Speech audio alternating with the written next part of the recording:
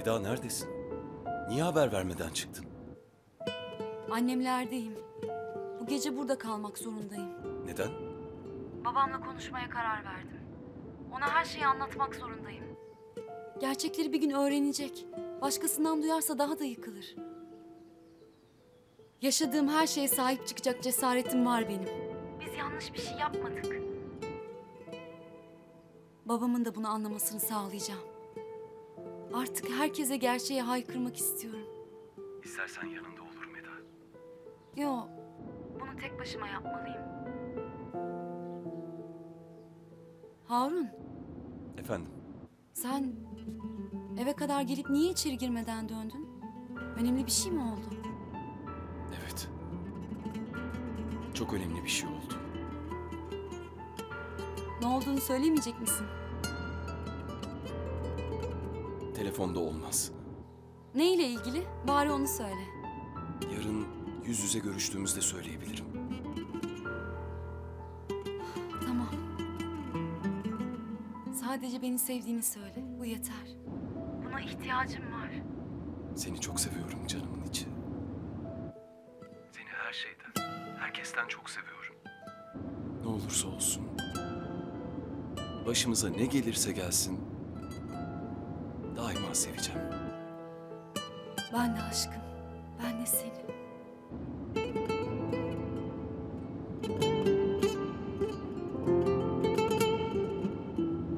Seni sevmekten asla vazgeçmeyeceğim.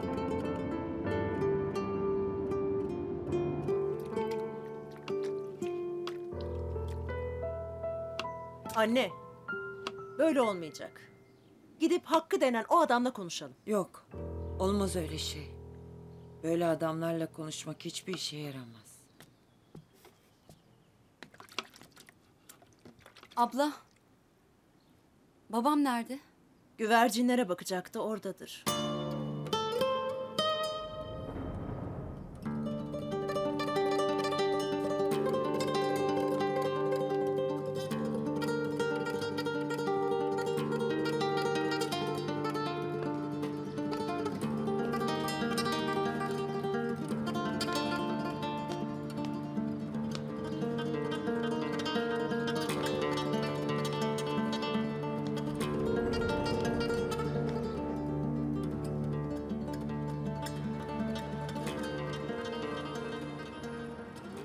Baba, Eda, hayrola kızım ne oldu?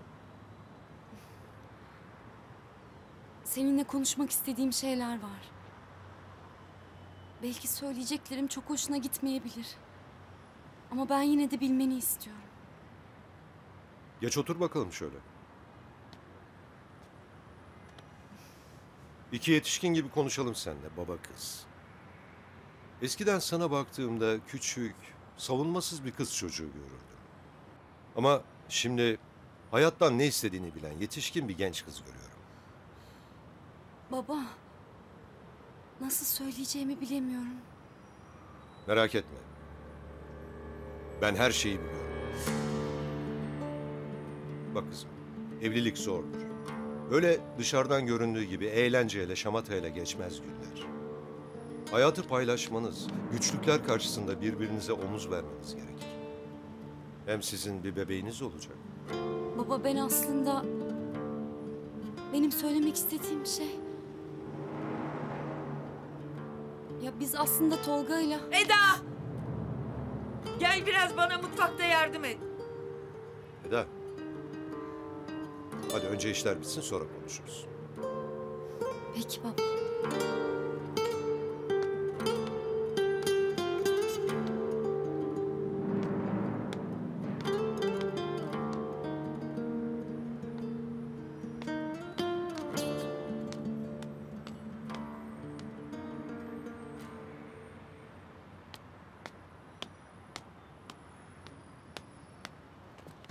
Ne yaptığını sanıyorsun sen? Cevap ver bana. Ne söyleyecektin babana?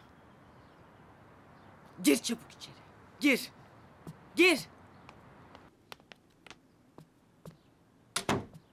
Delirdin mi sen?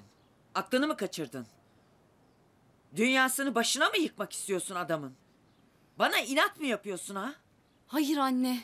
Annem söylemeden önce ben mi söyleyeyim dedin? Anne ben sadece... Sen, sen ne Eda? Sen sadece bize utanç verdin, utanç. Hem de hala sana kıyamayan, her geldiğinde seni kabul eden bu ana yüreğine. Bu bıçağı ta yüreğime sapladın. Hala da saplamaya devam ediyorsun. Bugün yüreğimdeki bu bıçağı ben de söküp atmak istedim. Ama yapamadım. Kıyamadım babana. Benim yüreğim kanasın. Ama bir de baban mahvolmasın istedim. Hiçbir şey söyleyemedim.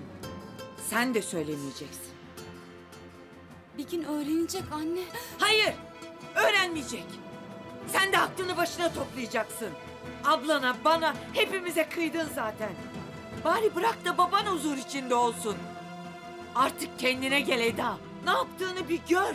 Bir dışarıdan bak kendine.